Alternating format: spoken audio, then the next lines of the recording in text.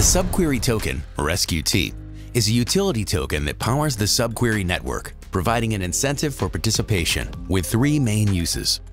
It acts as a medium of exchange, produces staking rewards, and is also a governance token.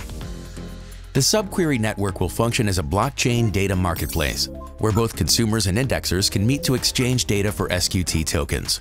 Here, the token serves as a medium of exchange for transactions within the subquery network.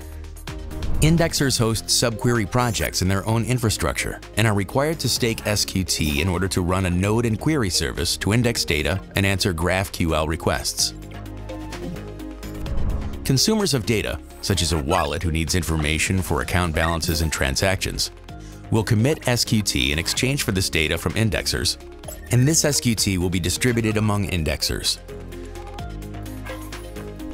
Delegators, the third participant in our model after consumers and indexers, participate in the network by supporting their favorite indexers. They delegate their tokens to indexers in order to earn staking rewards. Here, the token serves as a reward mechanism. SQT will also be used for on-chain governance related to development and upgrades of the subquery network, as well as controlling the treasury. This will become increasingly important as the network transitions to a decentralized autonomous organization, otherwise known as a DAO.